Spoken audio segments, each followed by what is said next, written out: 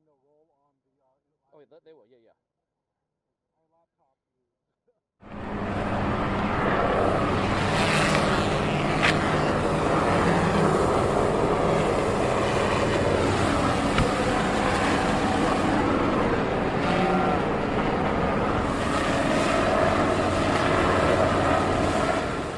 Oh my goodness. So that must be the victim. I don't know. I we heard we were watching the news in there, and they said four fatalities. Oh, I have not heard that. No. We heard shooting. We heard shooting, but we didn't think it was that close that close like in proximity of the building.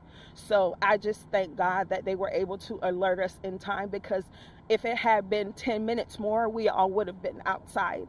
So that's what I'm grateful for today.